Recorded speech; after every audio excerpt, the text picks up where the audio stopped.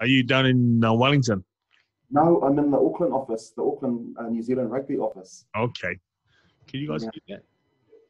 How about you guys? Lark, can you hear that? Oh, you have to go on the earphones. Okay. How long we got, uh, Lars? Hold on. 48 seconds. Okay. Where are you? I can't see you. So we're gonna we'll be on very very shortly, eh, brother? All right. Uh, Ronnie, it's good to see you, my man. Good to see you too, bro. I'll be putting my glasses in and out throughout the show. Okay. Yeah. Go up, bro. I've got my reading glasses in my bag over there too. So, uh, uh, I'm sure. I'm sure Ice is hiding his ones, bro. I'm sure he's. I know. thanks, man, Jones. Eh? Oh, Could be.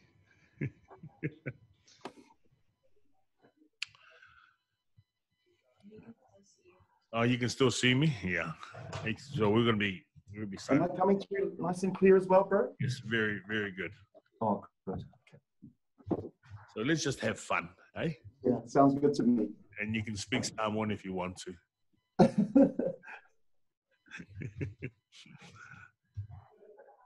Okay, we're starting very shortly, Lars. Okay, you ready? Stand by. Okay.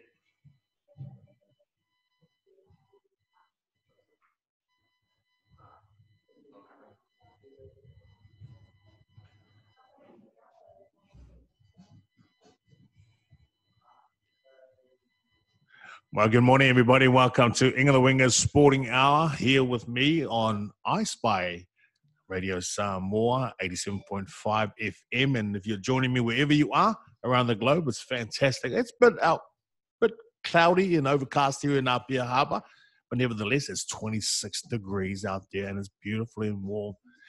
My special guest is a very dear friend of mine, a, a ex All Black himself, and we've been together for a very, very long time. In fact, He's the father of the current All Black, Caleb uh, Clarke, and I have the privilege to be able to host the Fionga Savetama Eroni Clarke. So, uh, a wonderful brother who's been uh, a very dear friend and close friend of mine all these years. We've been foes on the rugby field, friends off the rugby field. so, welcome on uh, Inga the Wingers Sport. Lo Fionga Savetama Eroni Clarke. Malo po i lo fionga tuinga mala, malo, lava soi pu mau, langi mama. So wonderful to be with you again, brother. Thankfully, I think we played together more than we had to play against each other, but wonderful to be with you in this way this morning. Malo. Uh, yes, we do have a wonderful friendship. We go way back as young as under 15s. and we're 51 according to the uh, birthday calendars. So we've been together for a long, long time. And um, for those who are joining us around the globe and you're tuning into England the Wingers Sporting Hour, this is my uh, guest that I'm very honored to very rarely get the opportunity because he's a very, very busy man. We'll talk about that later on, but you know, it's it's a wonderful privilege to have. Uh, we'll just call him Ronnie because I'm sure he'll, he'll love that. Hey, is that okay, Ronnie? Malo, that sounds great to me.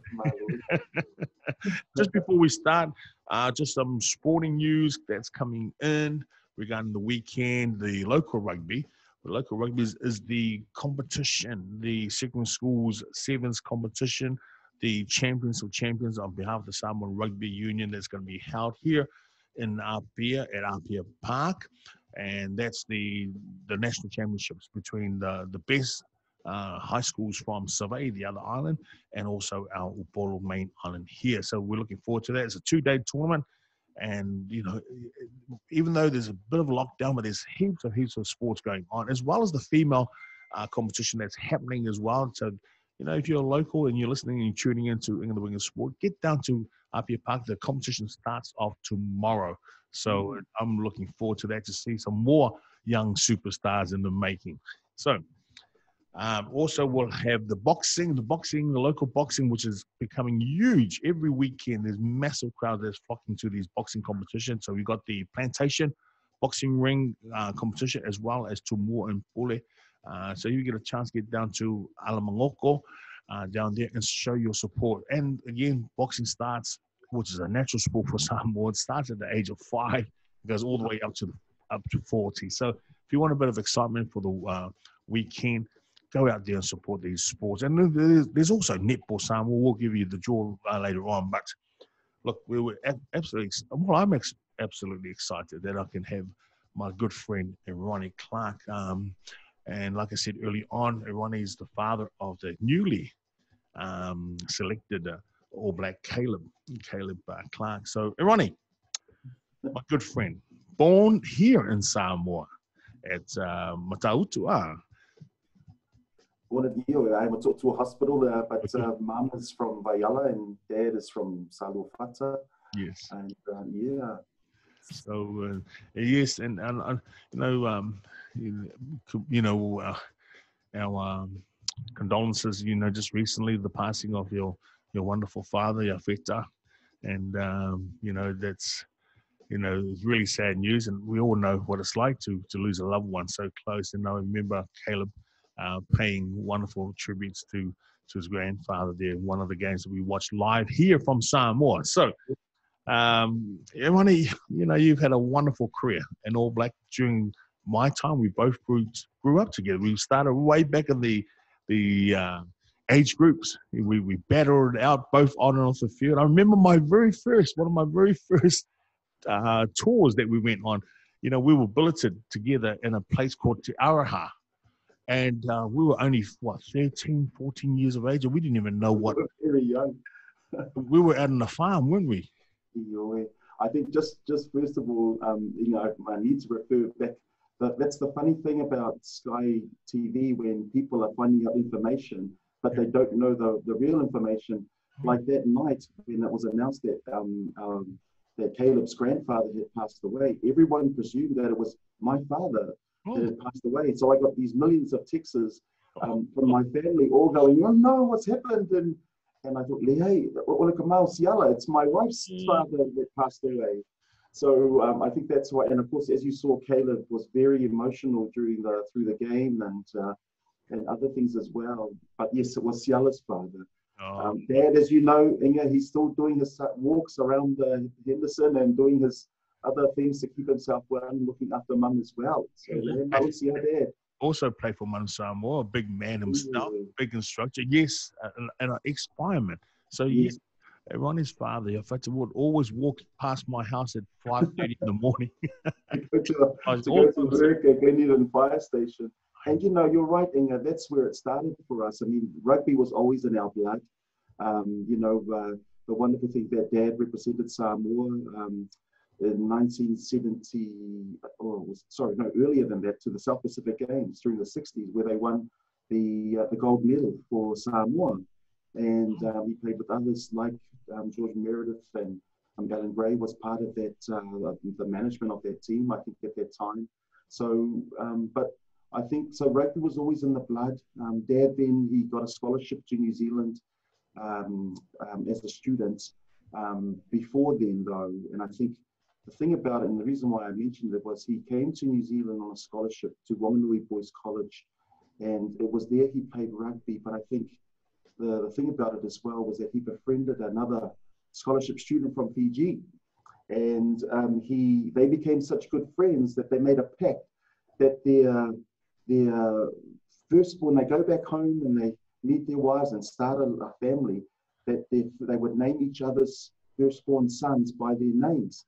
So dad honored that of his Fijian friend whose name was Eroni Vangathiku and named me Eroni. So I think many people have asked, where's your name? Your name is not Samoan. What is your, where's your name from? It's, yes, you're right. It's Fijian. And all the Fijians have known that for a long time as well. So many times when you and I have kind of started in those playing rugby days as young men, yes, it was those those days. And it was always in the blood. It was always part of our, for you and me, we grew up watching, grew up Bryan Williams and, yes. and others. And those were our inspirations and, uh, for, for playing rugby. Well, you know, uh, certainly your father and uh, people like the great Bryan Williams, uh, they're the ones that um, you know paid the path for us. And we, we, I've always said, I'm, all I'm doing is reaping the benefits of the hard-earned efforts that people have gone before us. Eh? Mm. And so, you know, your dad is right up there in terms of the influence that they've had on Pacific Island sportsmen and women from doing really, really well. And um, you know, for those who just tuning in, you know, my guest is Ronnie Clarke, a ex All Black. Hey, played for the the Blues. I think there's over oh, about 50, 50 games for the Blues. But he's also played for the Auckland uh, provincial team uh, that we've been both part of, and uh, over 150 games for the province over the years, and one of the very few. I think you're one of five or six that's ever able to play that number of games for for the province. So it's been a wonderful feat. Mm. Um, tell me, you know, as a so you, this new role for those who who don't know, um, everyone has been uh, given the opportunity to represent. It's called the Pasifika Engagement Manager for the New Zealand Rugby Union. Tell me about that role, Ronnie. Well, it was really, I think, um, we are such huge stakeholders within the game of rugby within New Zealand and globally for a long time since the days of um, Tuafasina Sir Bryan Williams. We saw more and more of our Pasifika coming through. Inga, you came through, of course, around near the time with when, when Michael had come before us, and then you came through, and then, then more of us started to come follow through after that. And given that we are such huge contributors to this game in Aotearoa, we are not big contributors on off the field. We are not big contributors in administration and in governance, even within the organisation of New Zealand Rugby. And it's there in the places where they are making decisions that impact on us wider. And I think there was a, we started to really begin to make a push forward to ensure that we did have the representation. We last year or a few years ago, we saw Tuafasina, who was the, became the president of uh, New Zealand Rugby. And soon after that, we saw um, the Sumaya Lauli, Sir Michael, had then ascended to the board. Yes. And so now we were starting to make progress to where we're at the table making decisions and following through from that soon after was that we needed somebody at operations level within New Zealand Rugby that was making those uh, decisions happen. And so that's how this role came through. And I think there, from that time, um, I've, I've, always believed that we needed to have that representation at those levels. It was the same with Sir Bryan, it was the same with Sir Michael. And as you know, Inga, for a long time over the years, we've contributed on the field and we've represented our our, our, our, our News Aotearoa, we've represented our families, we've represented um, Pasifika Samoa um, at those levels, but we've never been able to really represent at the real operations where they are making those decisions. And now we are finally, we are beginning to make those steps towards that. Hey, Ronnie, if you, um, you know, to be quite honest, I couldn't really think of a wonderful guy like yourself to be able to take that role. You epitomize what uh, success and high standards uh, is all about. Your uh, over the years, uh, I've been impressed with your humility and the way you've gone about the, the way you conduct yourself both on and off of, off the field. These are the things that are really important. How you carry. See, we have a saying in Samoa, which means in English, you know, you're you're you're judged, you're you're you're known by the way you talk, the way you, you speak, the way you sit down, the way you, you act around people. And so that that's that's that's certainly true. And I think that's some of the challenges off the field that some of our Pacific Island players do face. You know, mm. fame is, is one thing that is, is very hard for them to embrace. All of a sudden they go from, you know, this happy-go-lucky kid. We all know we've been there. We play with our friends. We, in fact, a lot of us didn't have any aspirations to become All Blacks at a very young age. All we did was just want to play rugby with our friends at the cul-de-sac, at the end of the street, you know, on the field next door, where we can find a blade of grass. Then all of a sudden you get, you know, pushed into this, uh, uh, into this atmosphere where everyone recognizes you, people know your name, people want to walk up and ask you for your signature. It, it's quite overwhelming. So what I'm saying is the need for these young men to embrace profession, and the game has moved on since we played. Uh, everyone, you know, when you look at it, it's evolved incredibly uh, uh, fast for some of uh, some of those our young kids today. And the importance that the role that you have is making sure that these kids are being well looked after, well managed, and they get the right direction, support, you know, we'll talk about psychology later on, but th- this is where your your role is so important. Is, is that correct? That's right, Inga. and it's we we we look at and not just uh, the, as you know, we are such a, a, a collectivist community of people. It's not just ourselves, it's our whānau. I belong to my family, my family belongs to me. And I think that's what's really important for the New Zealand environment to understand, and even for New Zealand rugby to understand that when you're not dealing with an individual, you have to also uh, engage with the family, the ainga, um, and because they are the key people that are also contributing to the decisions of this young man. And even if you look at the Black Ferns, even the young women that are starting to come through, we're seeing at the highest level, which is wonderful, seeing our people represented in those places. But it's really about creating the environment for our young men and women to flourish. You're absolutely right.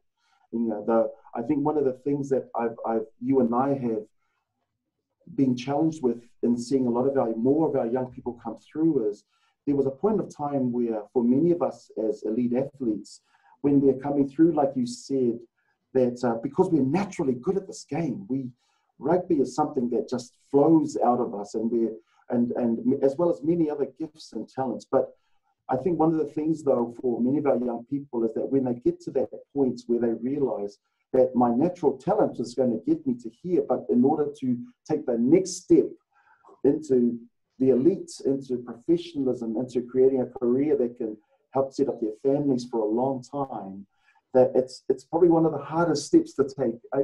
It's one of those hardest because it engages so much. It it, it stretches you.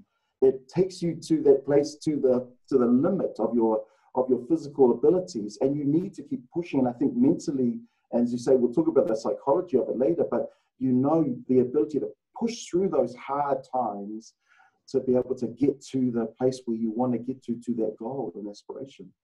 Yeah. Ladies and gentlemen, if you're tuning in, we're going to take a quick break and we'll come back. Don't miss this part because the next part is going to be very interesting. We're going to take a quick um, music break and we'll come back and read some more sports uh, sport, sports results, or not sports draw, sorry, coming up. And then we'll just talk a bit more because it's just starting to warm up. Thank you, Ronnie, and we'll go straight to our break. Uzo, can you hear me? Yeah, I can hear you, bro. oh. oh, mate, it's uh, yeah. I just honestly, I,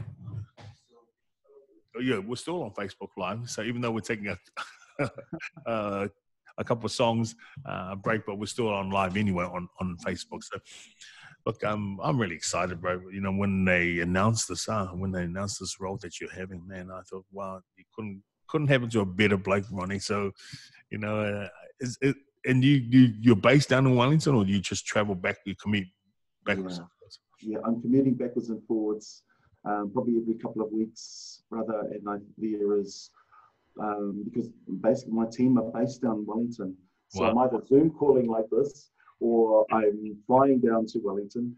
And I, I now that you know we're coming out of COVID, and there's also we're coming out of restructures that New Zealand Rugby had to go through as well. Yes. So we're kind of now understanding more of, of what, what we do, and what we can do, given we don't have the same number of staff. Yes. So yes. it's um, so there is a lot of uh, rebuilding that even New Zealand Rugby are going through. I mean, we didn't even think we are going to be playing any more rugby at all this year. So look, look what look what it's done. It's it's caused quite a reset, and um, and in some ways there are a lot of good things that have come out of it as well. And we'll probably talk about it some more around the, yes. the inclusion of a Pasifika team for um, a new Peps Look Super Rugby. So this, that's very exciting as well. So. Oh, no, we'll definitely talk about that as well on, on my bucket list to talk to you about because it's exciting. It is exciting times also, you know. Um, but I, I was I had some people, some guests on our show, and not long ago, and we were talking about the when the All Black squad was announced. Eleven Samoans, three Philippines, and three Tongans. Wow, that's you know, and because I want to talk about that, the influence of the Pacific Islanders that's having on, and also the impact that they're having uh, mm. on on not just rugby but sports in general. You know, because it is exciting times for the Pacific yes. Islanders. Are you know? Absolutely. So, so that sounds good to me, and. Uh, it's wonderful to see more and more of the influence of our of our young men and women that are coming through. So you're right. Yes, You know, we were talking about, we are just talking about this at breakfast this morning. You know, just the uh, with with some friends of mine, just saying, you know, um, the the inclusion of uh, Pacific Island teams. In fact, you know, look through the the stats on, starting from schools rugby to club rugby to provincials, and then straight on to, you know, um, you know, our national team. You know, it's just the conveyor belt just keeps on going. Eh? Absolutely. And I think that's wonderful because it's a reflection of our community. I mean, given New Zealand, you know, Auckland alone is the, the biggest Pacific population in the world. I think, um, you know, there's parts in the States where that's starting to be challenged, but I think currently we still hold in terms of population the highest in, uh, for Pacific um, here in Auckland. So Wellington is certainly growing there, but we're seeing a lot more other parts of, of New Zealand, even the rural, small rural towns but if you remember when we were playing, there was one or two you know, of our Pasifika that were playing for South Canterbury or North Otago or, but now with uh, with now a lot more of the seasonal um, um, pickers and, and others workers that are coming over to New Zealand, they're growing in those smaller um, smaller towns. Yeah. Okay, we're just gonna hang there. We've got to read out the foreign exchange. It'll come straight back.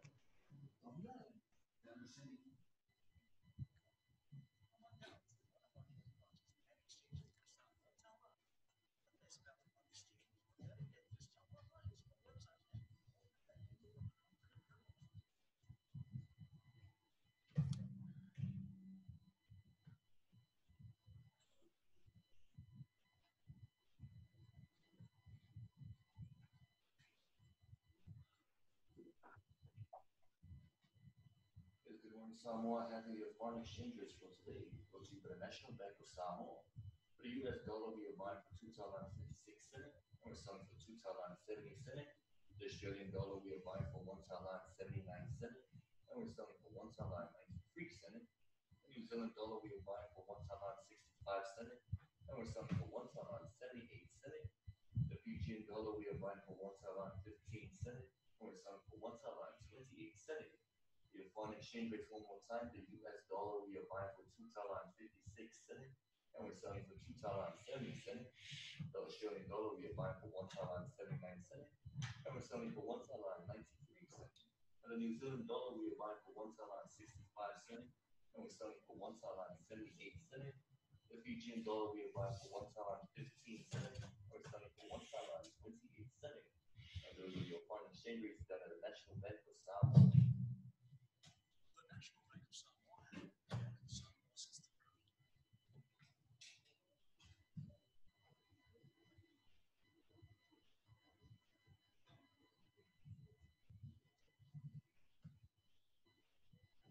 Yep.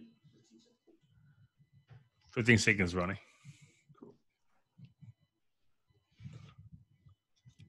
I think I saw legs walking here, bro. I can see everyone else busy behind the scenes. Yeah. Ladies and gentlemen, welcome back to England Wingers Sporting Hour here with 87.5 FM Radio Samoa. My guest is the Ronnie Clarke the wonderful um, or ex All Black that he has been, and a wonderful role model. He's got a fantastic role in the New Zealand Rugby Union, which is the Pasifika Engagement Manager. His role is to actually look after these young Pacific Island uh, players coming through to nurture them, give them all the support off the field, so that when they go on the field, they become the the, the superstars that uh, we want them to be. And Ronnie, um, you know, you, looking at the stats is quite impressive. Uh, in secondary schools, you know, seven in Auckland alone, seventy-eight percent are Pacific Islanders, which 60, 61 percent are Samoans. In club rugby, it's even more astonishing. Eighty-eight percent are Pacific Islanders, which is sixty-nine percent are Samoans. Then you come to the All Blacks, and after being the the squad just recently announced where your your son Caleb uh, was also included in that All Black squad. Eleven Samoans, three Tongans, three Fijians.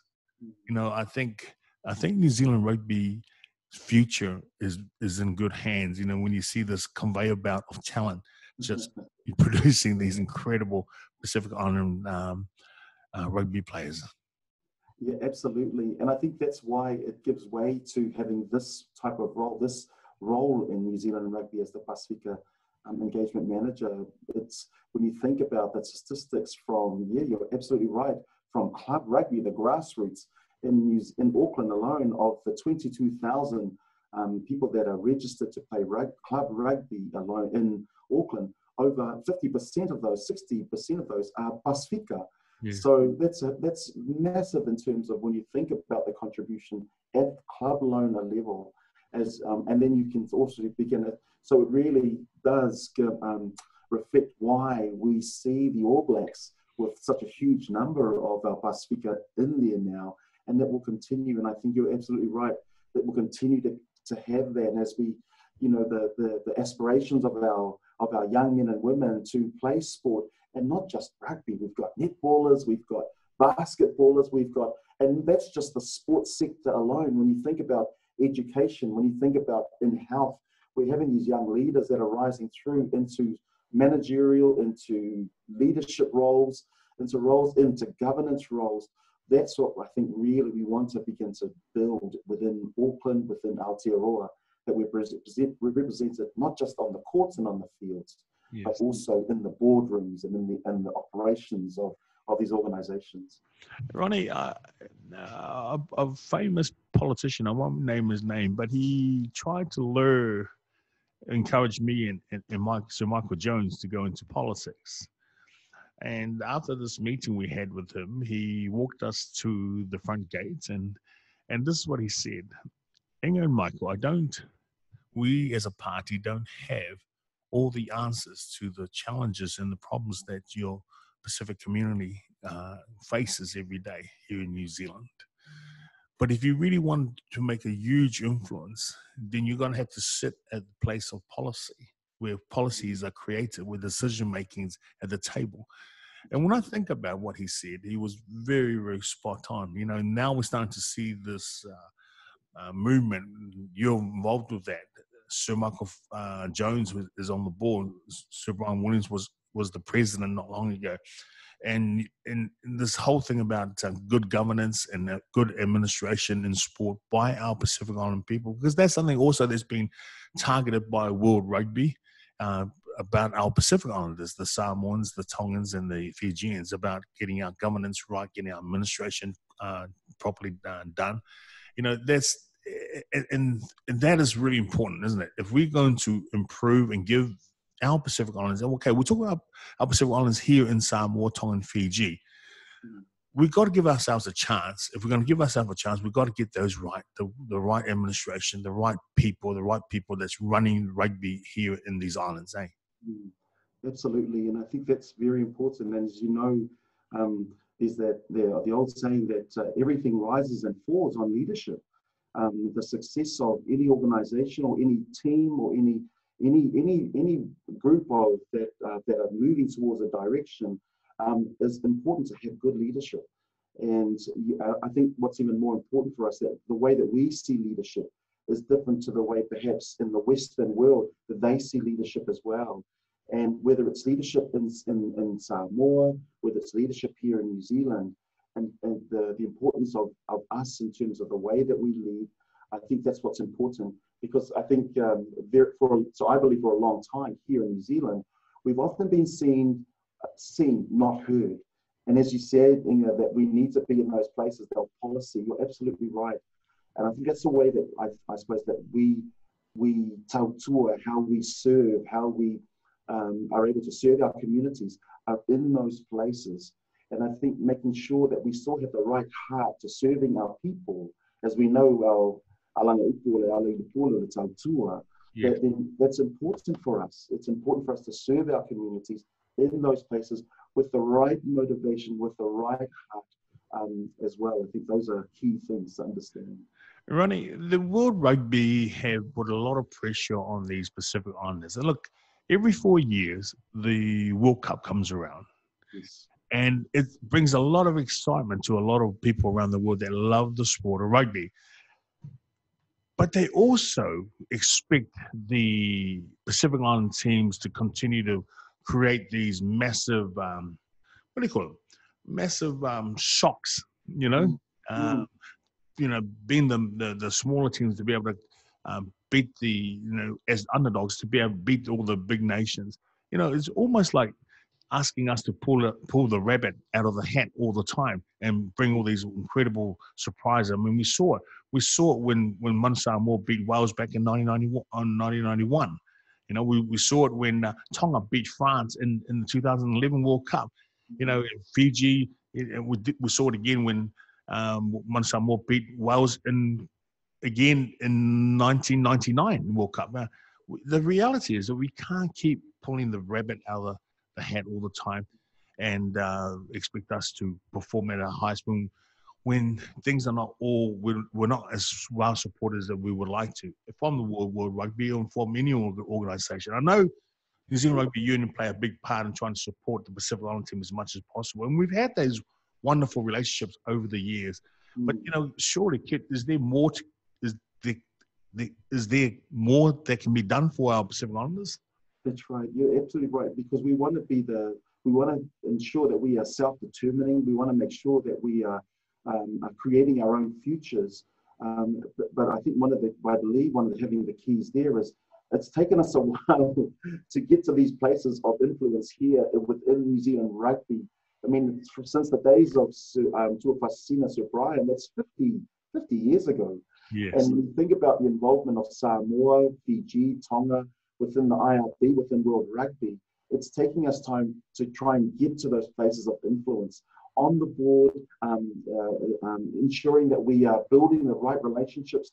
It's good to see Fiji are certainly making some some good ways in terms of really building that. But I think also what we continue to really need to have is build these strong relationships. Um, continue for us to work on the inside to to um, assist Samoa, Fiji, Tonga, to go to that, to rise to that next level. I know that there has been support, but I believe now with more of, of Pasifika that in these places of influence in New Zealand rugby, we need to start building them within Australia rugby as well, so that we can build more and more of our case. That really, so that when we are at the World Rugby, when we do come to the World Cups, Samoa are not faced with these these very quick turnarounds between each games. I mean, it's it's really it, it's heartbreaking to see um, tier one teams having these extended number of breaks between games and expecting our tier two, three teams like Samoa, uh, Fiji, and Tonga to turn around in six days. It's it's it's five days. It's it's it's, it's too hard, especially for a, a short space of time as such as a tournament. So building strong relationships and also continuing to make those ways to in those spaces towards governance in World Rugby. I think those are some of the key things. And it will take time, but as we continue to build relationships, I think we can get there. And I believe we can get there in the end. Yeah, no, I, I, I totally agree with you because it's been a very slow process. And like you said, uh, Ronnie, we are making, I suppose, incremental steps, eh? small little steps going forward. But at least we're going forward. We're not going backwards, you know. I think uh, I see that we've got a Pacific Island uh, organization that's been set up to look after the welfare of our Pacific Island players all around the world, and um, and they're trying their best to try and embrace uh, the, the, the modern game, the professional game, because it has, it really has changed. You know, the the players, even just looking in the last 15 years, the the physical um, uh, shape is much different to what we were when we were playing. You know, I mean, a good a good example is your son. I mean, you know, I thought we were big when we were playing, Ronnie, but along comes Caleb, and, and, and he's just a, you know, obviously he's a chip of the the old block like yourself, but he's just the biggest, meaner, stronger, faster player, and we'll talk about him later on. But uh, these are the challenges that um, these these young players are going to face, but you know, coming back to what you're saying, I do want to stress the importance of that. I think the whole keeping the the communication between the players, the Pacific Island unions, and the bigger clubs that, especially in Europe, that are, have opened their doors and employed and signed up a lot of our Pacific Island because that's where we're heading. A lot of them are heading north, and just because the pressure I read not long ago during the World Cup, or prior to the World Cup last year, the, the the some of these players have been influenced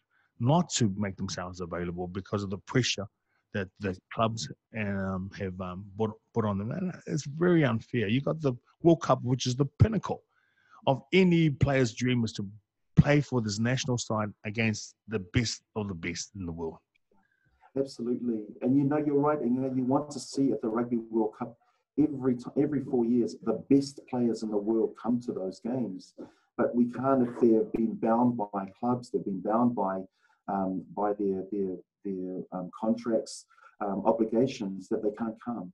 So we need to put pressure on this, and that's why it's wonderful that we have the the rugby the Pacific Rugby Players Association. We've got New Zealand Rugby. All these associations are set up so they do um, benefit and help to benefit our players and help them to free them to be able to represent their countries in their international um, schedule. So that's what's really, and especially for Rugby World Cups. Yeah, no, look, we're going to take a quick break and we'll come back on our third segment. Then we're going to talk about the son of yours, this man mountain of a of a, of a Samoan beast that's played, you know, been selected, and everyone's very proud. I, I, I certainly know that us here in Samoa, when his name was read out, we're, we're all jumping up for joy to see another Samoan, as well as other brothers that uh, are included in this uh, All Black squad. So we'll take a quick break and we'll come back. Eh? We're still live on.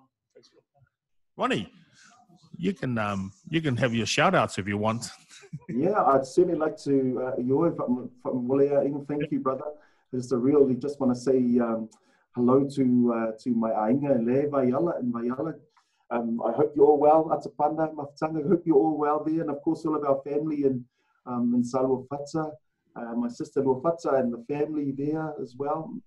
Hope you're all well. Lufatu, mum and dad are well. And uh, we hope all going well, that in time, as the levels of uh, drop here in New Zealand with due to COVID, that we can um, come and to visit uh, home, uh, Liverpool, you know. So hopefully that uh, we'll be able to meet again, all of our family and all the class and the tongo um, as well. Yeah, we're all well, and I hope you're all well too.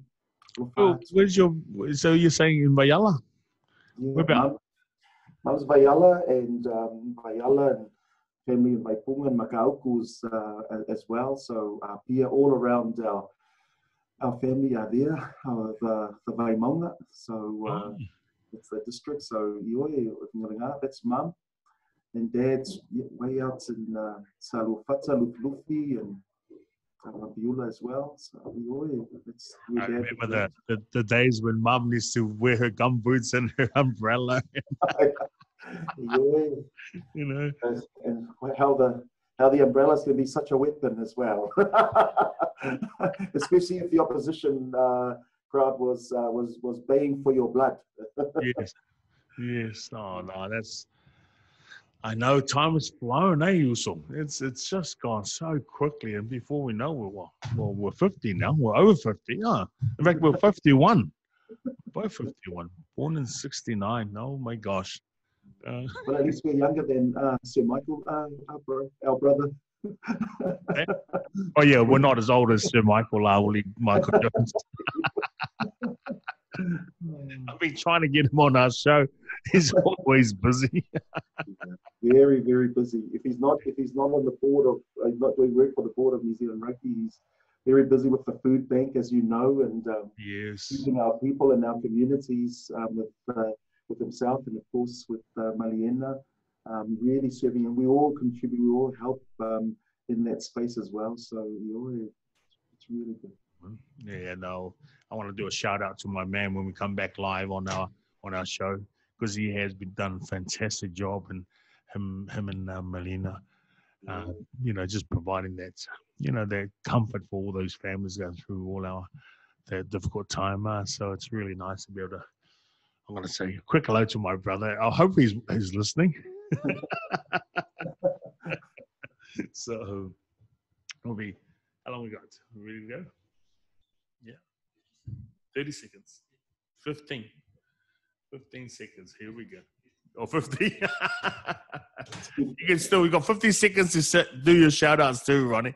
Not just you got your friends back in New Zealand. Wow. No, we, uh, we're certainly all well here. And um, the weather's not too bad here, brother. I, I heard when you when you were saying, talking about the weather, the weather is starting to warm up in New Zealand. You know, around this time of the year, it's starting to get towards October, November. It's starting to warm up again. So we are thankfully um, getting Yes. more some more fine weather in, in Auckland. Yeah, Not- even though not- it's raining not over here, it's still beautiful because it's still nice and warm. Oh man. So in Auckland, it is level two. Yes. Now we are level two, but the rest of New Zealand are level one. Oh, okay. So, um, so hopefully Auckland at some stage soon. But before the the Auckland Eden Park test, we're back to level one. I hope. So, Hi, everybody. If you're joining into Inga the Wingers Sporting Hour here with 87.5 FM Radio Samoa. You know, if you're joining us around the globe, I'm my beautiful guest. My wonderful guest this morning has been uh, none other than Ronnie Clarke, the Pasifika uh, manager, uh, engagement manager for the New Zealand Rugby Union, has joined me, a wonderful friend for many, many years uh, a wonderful singer. He's he he he he belongs to this uh, gospel choir uh, or gospel uh, the Soul Fives. So, uh, he's he's got a, he's a man of many talents. In fact, Ronnie's sister Cheryl Clarke also represented the New Zealand Ferns. for the Ferns, see you. Well, friends, you know, she had a very uh, uh, distinguished and, and um, beautiful career as well. Another wonderful Samoan that's doing really well, and one said, you know, being a wonderful example as a sister in during those time. And there, there weren't many in those um those days there, Ronnie, in, in netball. You know, there was Rita Fatialofa, Yeah. uh, that I remember the the more famous ones, and then your sister Cheryl, and then right. Together around that time was Bernice Mene, um, Linda Vagana, of course. Um, she started Leilani, the late Leilani Reid. yeah, um, was one of our other young lady, young women that were coming through, and of course um, our Fijian sister um, that uh, that is probably that also was in the winning of the World Cup, um, Vilimaina Davu. Yes, So I think that's been the wonderful thing that we've had seen more and more. yes, Of course, and so we see more of our, our people that are representing New Zealand yes, um, at those at the at the highest level, and I think that's been wonderful in terms of, as you know, brother, the aspirations of our people to ascend to these levels, whether it's sports, whether it's business, whether it's in health, whether it's in education, that we need some more because they're great role models, and the more that our young people see these role models in those in those places. The more belief that it instills in them that they can do it as well. I think that's been the wonderful thing over the years. yes. I, I love what you said before, Inga, about how we were we were able to become All Blacks and the influence that it had, and and it was something that that, that Mum said to me when I when I was when I was able when I was picked for the All Blacks. She said, "Son, every Pacific Islander, every brother and sister can flick up their collar and say." That's a brother, and I, I really appreciate it, and I really, it really spoke to me about the the influence, the the, but also the responsibility that we have for the next generation of our young people that were coming through. I suppose the same, in essence, the the responsibility that two of us, Tuafasina Sir Bryan had for all of us coming through as well. Yeah. Yes, no, definitely. Now, I was watching a little documentary on Mm. YouTube, and it was regarding your son, and he told a wonderful story about how they were, you know, their project at school when he was a young kid was the All Blacks, and he he he, he goes on to say on this on, on this YouTube uh, program about his uh, experience of his of, of All Black. Then when he when they opened this book, this this massive book that had all the All Blacks history and all that, Mm, mm. he was shocked to see you your photo there. he came home and he said, "Mum, is Dad an All Black?" had no idea that you were an All Black. Yeah. That's a And classic, isn't it? I think it was the picture that he saw of the game that you and I played against uh, World 15. It Yes. the- you're right, because he knew he played rugby. He knew that dad played rugby. He knew that, in, in fact, EJ and Caleb at that time, they knew that I dad played rugby and he played for Auckland. But I wasn't playing for the All Blacks at that time. I was out of the All Blacks and I had been for a while. And um, but I got back in again a, a couple of years later. But it was in that period where I had been in the All Blacks. So he knew I played, but what? But he didn't know that I had played for the All Blacks in earlier. So that's why he got a big shock when his friend said, "Hey, is this your dad?" so he got a he was he, he he got shocked, and so he brought took the book and brought it home. And so I said, "Oh yes, son, um, yeah, Dad played for the All Blacks, and um, Dad's trying to get back in again." So, and that inspired him. You know, there's because I, the the Caleb I remember mm, was the one that did, did athletics. When you know you, you would take him to athletics, or, or Ciala, the lovely uh, Ciala, Eroni's wife, would take him to athletics. You know, and so. You know, for it must have been a real shock for, for the young fella to come home and say, "Dad, Mum, there's an all black." yeah. I suppose- And, you know, this, Yeah, that's sometimes a funny thing. You know, we don't. Those are sort of things that we are part of our life, but you know, in our in our family, it's it's it just you know it, it becomes normal. Or you you don't really. It's not a you know thing that we kind of you know. Well, it's a Um, big but- thing. Sometimes it's, it's we don't realize. We, we I suppose in our Yeah. time, Your Honor, we we we didn't actually see the importance of being an All Black back then. Yes. You know, because you you know when you went out the door, you you you you become an instant hero. People recognize. They'll come up to you, and ask you for your autograph. But when you go home, well, you're just another child. you go home, and um, mum goes, "I'll go and wash your dishes and take out the rubbish and make your bed." and whether you're 40 or 30 years old, you'll still get told off by mom as well. And you know, it's and that's that's and that's the wonderful thing.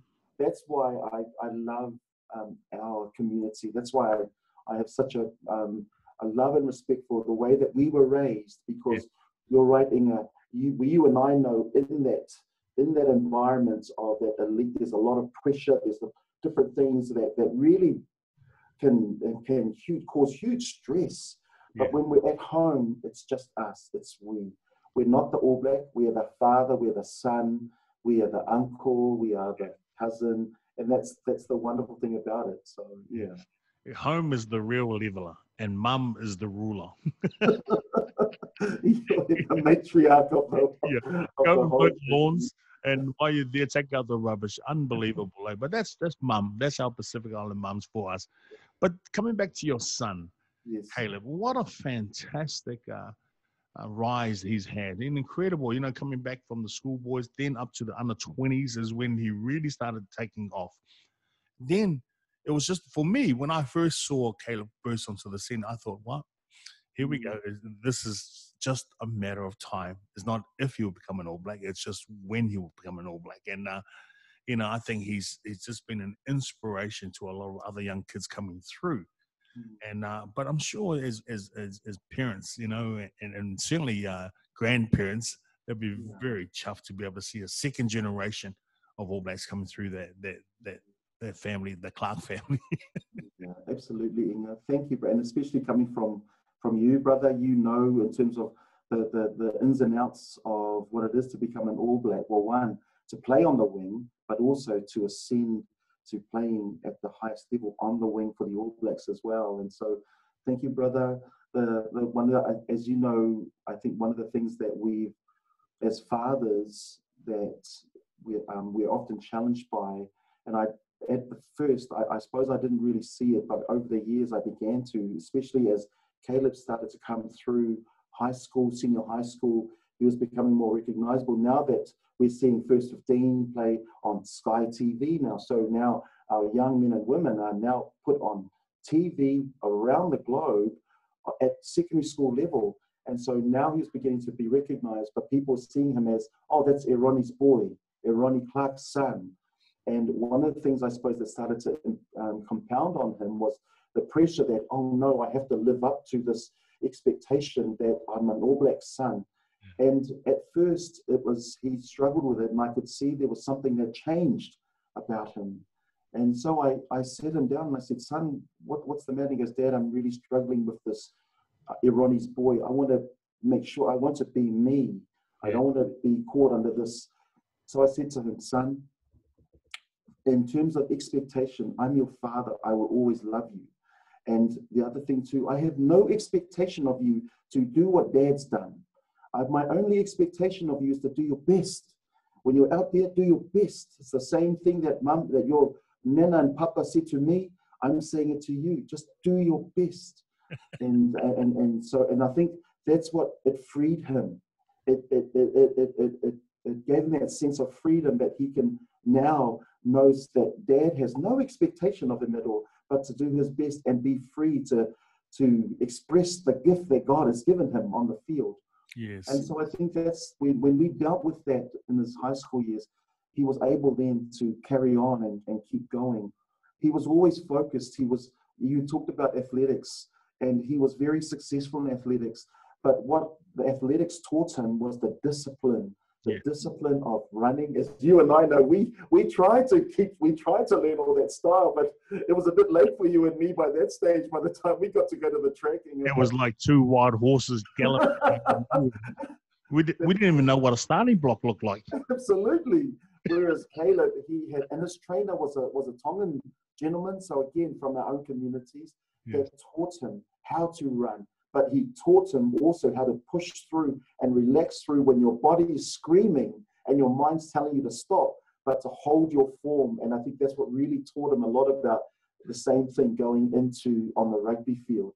And um, and you know, I think that's been some of the things that he's learned Yes. um, on his journey through to today. No, I I can relate to that, uh, Ronnie, simply because I have sons as well, Mm-hmm. and um, I can also relate to the fact that exactly what you say. You, you just tell them to live their own lives, to follow their own desires in terms of their careers and that. Mm-hmm. Because they my for that very reason, my boys took up boxing. Yes. You know, they tried rugby and they didn't like it because they were all everywhere they went. Oh, son of Inga, Inga's mm-hmm. son, exactly what Caleb is facing. So I'm glad you you, you did the same thing I did. Just sat them down and said, "Do what you want." So they Mm. ended up they picking the hardest sport to play was boxing. Son, that's not a sport. You know, you don't you don't play boxing. You you you beat each other up. And and he goes, "Well, it's the only sport that you can beat each other up and still shake hands and hug them." Um, I said, it depends whether you're knocked out or not. But exactly, exactly what you did, I did, you know, a few years earlier with with my boys, and even my grandson. Uh, ironic, it, it wasn't it wasn't long ago when my grandson found out that uh, uh, that I had played for the All Blacks, and because because he was brought up in boxing, and in fact he boxed, and it was only when he went back to New Zealand that he realized that um, he realized that uh, I had played played rugby, and so his dad had to show him uh, on YouTube some of the highlights, and and he just looked at me and he goes, "Dad, a papa, you were really fast, but now you're not. Hey, put on too much weight." but uh, I love what you've done, Ronnie, with this young man, and he he's got a wonderful future. And, and you know, he, every now and again in, in any sporting teams, you know, you have the you know in boxing you have the Mike Tysons, you've got in, in, in basketball you have the Michael Jordans, you know. Um, and I, I think this guy's got has the opportunity to just like like rugby. We had Jonah, you know, lit up the world. This this kid, without putting any pressure or Mm, predicting his future, mm, he's got the X factor, and I really wish him all the success. And I know because he's been well brought up, also, Ronnie, you know, by you and Ciala, the beautiful Ciala. You know, he's well. They say the world is your oyster, mm. and I really, really hope that he takes the opportunity with both hands, no doubt. Okay, so we're going to take a quick break, Ronnie, and then we'll come back in our last segment if uh, if you're just a bit more, bit, little bit more patient. Okay, brother. But uh, we'll be still live on Facebook, so you can still we can still chat. So we'll take a quick break. no. Oh dear. Yeah. It's just recently when little Vine goes, Papa, eh, I didn't know you played rugby. Because everything was always boxing at home, was always boxing, boxing this, boxing that. And obviously he boxed as well when he was here in Samoa. So I missed the little fella. how old is how old is um, Baba now? How old is he? Can you hear me? Yep. How old is how old is he now? Is he? I've got to uh, do a shout out to, to Michael Fake. That's the first one I'm going to do when we come back. shout out to my friend Neil Steele. Um, well, is it, is it live? Just- so big shout out to my man Neil Steele. Stevenson, wherever you are, you're probably lying in the car in a coconut tree somewhere, enjoying the breeze. Uh, good, big hello, big shout out to my man. Also to um, Lucky, Lucky and Bex from Pure Pacific Water. You know, as always, they're very supportive. Uh, So Manu, so uh, lovely to always have your support. Uh, who else can I? You got any, you got any families and friends? Oh, too many to mention, um, brother. there- There's uh, yeah, but um, I think the all of our family here are, are all well, and um, our families across New Zealand, Aotearoa as well, and around the world, particularly in Australia. Um, I think Lapi and uh, and Jolene that are in the Gold Coast, and Cheryl now is living in, and Malcolm are living in Brisbane, and like he's still involved in the sport, but actually are now in the ministry. So that's the the pathway they're becoming. They're si sunga le pawhea ngai mal whaletua ia. So they're uh, certainly uh, down going down the, the pathway along the pathway of becoming ministers in the ministry. Um, Cheryl and Malcolm, and so yeah, just a really big shout out to them, all of them across um, in Australia. How long we got? One minute. Yeah. Yeah. Yep. How long to go,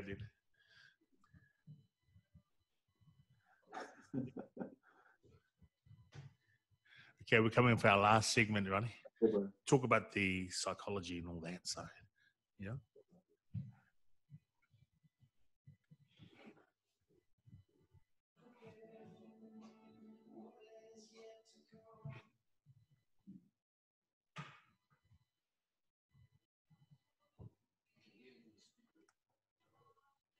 Oh, no?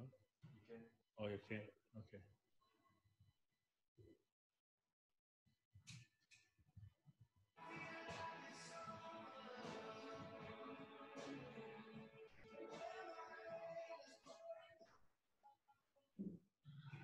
Good morning, everybody. Welcome to Inga the Wingers Sporting Hour here on 87.5 FM Radio Samoa.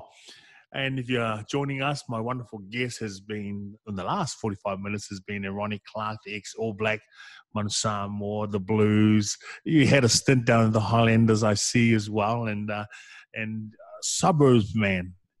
Uh, a wonderful uh, club there in West Auckland suburbs who needs to give my club Ponsonby a lot of headaches over the over the years. Um, but uh, he's my guest, and we've just been talking a lot about just where Pacific Island rugby is at, and uh, his wonderful son Caleb, who made the All Black squad just recently. Uh, just a big shout out uh, live to my good friend, our good friend, Sir Michael Jones, Lauli, uh, Sir Michael Jones, and his lovely wife, uh. You know, just for all the wonderful work that they've done throughout this uh, COVID 19 uh, shutdown.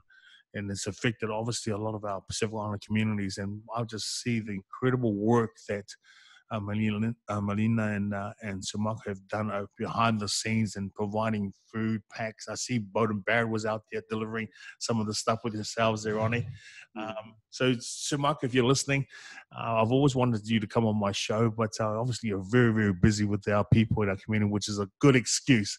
But uh, a big shout out to our brother, hey, because he's been, like you said, there, Ronnie, early on the show. Mm. These are the trailblazers, that the guys that set the pace for us, and we've just been fortunate and honoured, privileged to be able to follow behind their footsteps and and take the game to to where we how we've achieved the game, and and you know the next generation has come through as well. That's right. And you know, there's that the um, in, in the scripture that it says that to whom much is given, that much is required, and you know, there's that's been that that that, that responsibility that we've shared over the years, um, when from when we were playing, and um, no doubt our our, our brother um, um, Lauli has continued to take that challenge. And as you know, you've talked about the food bank, but he's also has a chartered school as well for providing education for many of our young people who are falling through the cracks um, at high school. And so this the the the the, Pasifika advancement um, for secondary schools um, or PASS, which is in Otahu, um, is another opportunity for our young people to coming back to school to get gaining the credits that they need to go on to further their studies and further their um, to take their their schooling to another level. So he's done so many things um, from education to to, to to social development to health. So he's hit on a lot of areas, which is where a lot of our people are featuring the negative statistics. Ronnie, I remember when he first started with his lovely wife Maliena, uh, the Village Trust. Yes. set that up, and it's for that very reason. I know your your brother-in-law uh, Nick, uh, my, our wonderful friend Nick, was helping it, helping setting that all up, having you involved, and that I remember the motto: "It takes a it takes a village to raise a child." A child, You know, and he's just expanded. He's just gone from one from strength to strength. It's all about people, and you know, people. You know, and it probably it's fair to say that saying, you know, people don't care how much you know until they know how much How you much care. you care. You know, Absolutely, that is so true. And, and Michael, when you when you talk to him, when you talk to the man, you see there's such a heart of generosity. There's such a heart of of, of, love that he has for and to all people. And you know, it's it's no wonder that that he has this knighthood that you know he's um, that he has, and it's you know he he his heart is for people. His heart is, but his heart is particularly for our Pasifika people, our young Yeah. people. And I think that, and I, I see for so many things that you and I have been together with Michael and, and, and doing a lot of things for our communities. It's the way that it's our tautua. It's, it's, it's the responsibility that we have to opening doors for our young people, for all for our communities that couldn't be perhaps open before. And I think that's the that is the responsibility of our next generation to do to carry on. It's the same baton that our parents gave to us to carry on within um, within where we live and the, and the places where we live to open those doors. Ronnie, well, what's your what what would your advice be to our Pacific Islanders? Okay, especially here in Samoa, our mm. youngsters that want to pursue their careers, whether it's in Manu Samoa, Manu Sina, or any other particular sport, because our young ones here, and having lived here now for seven years, I realized we've got the talent on this island. There's there's mm. plenty. The product is our talent, the Yes. ability to be able to pick the ball up naturally and just run. And uh, and they want to aspire to to play for our national teams. But the unfortunate thing is that a lot of our national international teams are all filled up with overseas Samoans. You know, I mean, what, what would you what would your advice be for those who are tuning in and listening? You know, for our local ones here. Thank you, brother. Whawhatai amo le awanoa, um, um, to your mala. This is really important. There is no difference physically between our young people um, our, our, our, um, who, are, who are playing rugby in New Zealand, Australia, or even over in Europe, to our, our young people that are living in, New, in, in Samoa or in the Pacific Islands. Physically, we are all the same. The difference where I've always seen and often seen why these that often uh, some of the differences are has been that the ability to not give up. Um, and I think when it's when it's tough, don't give up. When when when when the training is hard, don't stop. Don't give up. Don't stop until until the coach says stop. Until the trainer says stop. That you keep. You've got to learn to push through um, those those. We've I mean, we've lived so hard uh, um, in our lives when we think about living in, in at, at home or where we are but the ability to push through when your body is screaming and your mind is saying stop no it's you need to continue to push yourself through those limits. And to listen to all our young people that are listening it, it's still you, our talent will get us to a certain level but it's the next oh 10 15 percent which which which requires almost everything of you to commit yourself to pushing through the barriers. That's where you need to that's where we need to be always so that we can be competing then or the next it'll just come down to experience and having the experience of playing in the in, around the world um, uh, that will help you to gain that experience. But i think first and foremost for um, as this it's the same challenges too that our young people are facing here in new zealand and australia and around the world is that they realize their talent will get them to a certain level but in order to go to the next level it takes requires almost everything of you mind um, body um, to push yourself through the limits. And i think that's really at the end of the day for me that's what's required. And a huge belief well last first last also was really important is you, the belief in your ability. Because when the world stops believing you have to keep believing. And that's the wonderful thing is that our family can help us to keep believing as well and our support our greatest supports as well. So, yeah. So thank you That's and, uh, great advice. You know, if you're listening, you're tuning. i- i- Even if you're not a sports uh, athlete, but you're listening to some of these wonderful um, nuggets of wisdom that uh, Ronnie Clarke is sharing uh, this morning about not giving up. And, and you can apply that whether you're in sports or in business. Just don't give up. Yeah. You know, don't give up. And again, what you said about, you know, just believe. When no one else believes in yourself, believe. Believe in yourself, you know, because just by believing in yourself, it gives you hope, you know. And when you have hope, you got a chance. That's right. Absolutely. Once you have a hope, you, you have hope. You have you have a chance.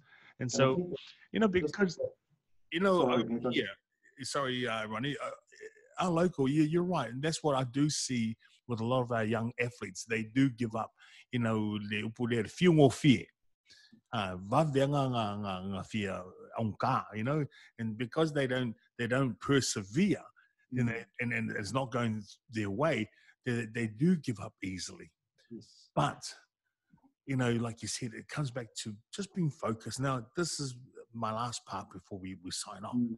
psychology, the mental preparation, because that's something we, we unfortunately we don't do very well here.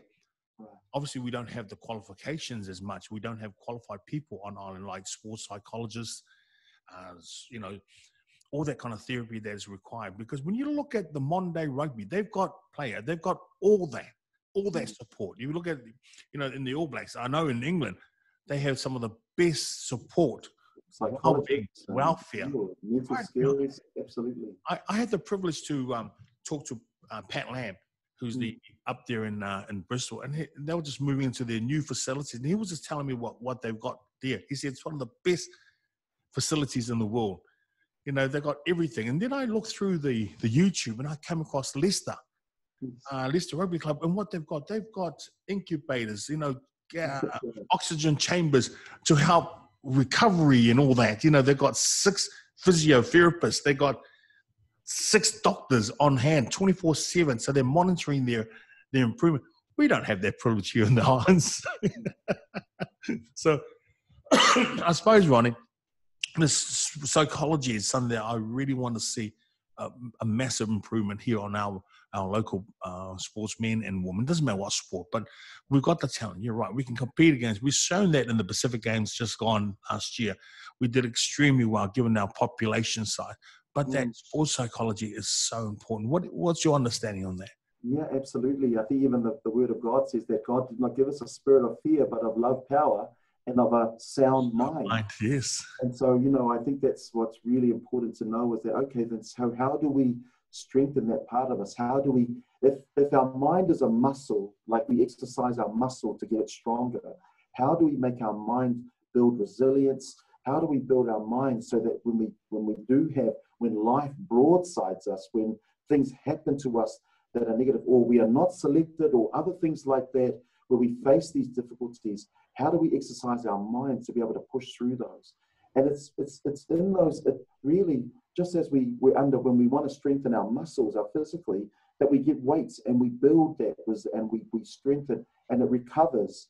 It's the same way with our minds, same way as well. When there is stress and there's anxiety, too much stress is not good, obviously. But when you're going through challenges and you'll be able to, and you've got the supports around, the right supports around you, that's what's important. That builds the resiliency, that builds the the the mental the mental toughness, so that when you come through to another challenge, whether it's within training or whether it's in life, your mind is then stronger. So I've seen this before. I'm going to push through this again. And so I think Yeah. that's for me. That's very simple. That's very uh, um, um, um, a, a similar appro- approach that we do in the physical. It's the same approach in terms of the mental and the spiritual as well. You're so right because I think that's you know, like you said, alluded to early on your on your talk, that uh, talent can only take you so far. And I think if, if, if, rugby was only a 60 minute game, I reckon we will be world champions. this is that last 20 minutes. Somehow we don't manage to close games off. We don't manage to finish finish well. Our our man, game management gets subsided. You know, and I, I just think some, and that's where that whole mental approach, that mental focus, that psychology and support is so crucial. You know. That's right, and, and I think the the one thing that's really important as well is the more that you you, you as you as you're growing in strength mentally and physically, you the the one most important thing is is that you always have that choice. The choice always sits with you. When it's easy to say, no, I'm stopping, and it's harder to say yes, go yes, because that's going to continue to build and strengthen you as well. Um, yes, to carry on. Yes, to keep moving forward. Yes, to feel the pain and keep moving through it as well. With the right support, with the right um, people around you, you can get through and build that resiliency, build that mental toughness. Because you've got in a team environment, you've got your friends that you look side to side, and and you know, you know when we were playing with the All Blacks or we were playing with the Manu at that elite level, Yeah. we all pushed together. We all went through it together, and that strengthens your resiliency. That strengthens your your your mental toughness. And that's why you need a team around you. T E A M. Together, A village achieves more. Takes a village, and I think it's the same thing. Ah, same concept. You're right. Hey, Ronnie, thank you so much for coming on our show. We've come to the end of our program. I would love to continue to talk. We can talk in the, in the next two hours, but you know, just want to just want to say a huge thank you. Uh, I'll, I'll give you the final word if you want to say your your final words to our listeners, and, and then we've got listeners all around the globe that's been tuning in. We've had people from uh, Ireland um, tuning in, from Australia, from Singapore. So this is your chance because I'm, I'm going to ask you to come back on the show another time later on. But I'd love to give the opportunity for you to say your final words, and then we'll just we'll just close it off. Thank you so much for this opportunity. Thank you for the opportunity to be able to, um, again, to be with you and especially to all of our listeners um, in Samoa and across the world as well. Um, I, my heart is, there's many others that are in, in positions of influence that are is still to serve our communities.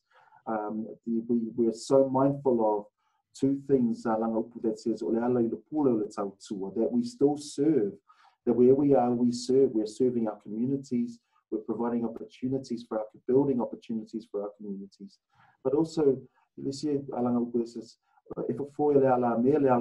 we know that the answers to our challenges and our issues lie within our our communities within our people so we have the answers so i think for me we are continuing to do that. Uh, we're trying to continue to provide more opportunities for more of our Pasifika to be at those places of influence so that we can provide more opportunities and turn the tide and make us not the tail but the head as Pasifika in, in Aotearoa. Te malo, hawhai tui ngā mala. Malo.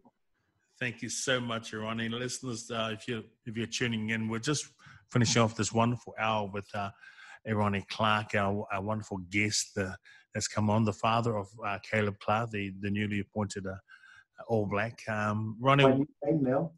sorry? That's my new name now. Oh, yeah, you're Caleb's dad. well, one day we all become has-beens.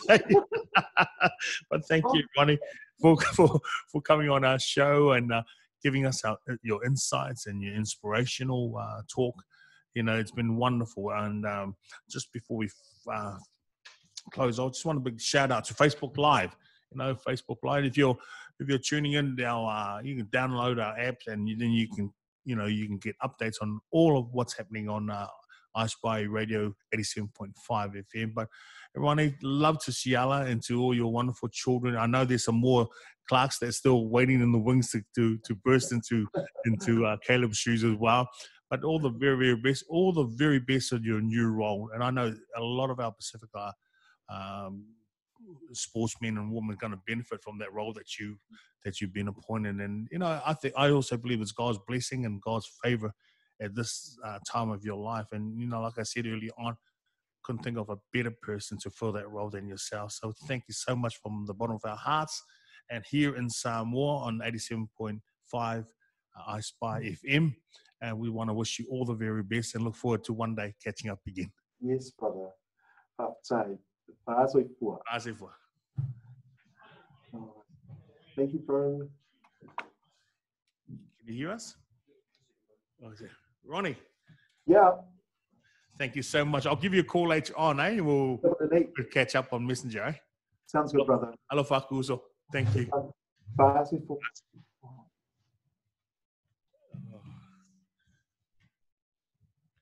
Thank you.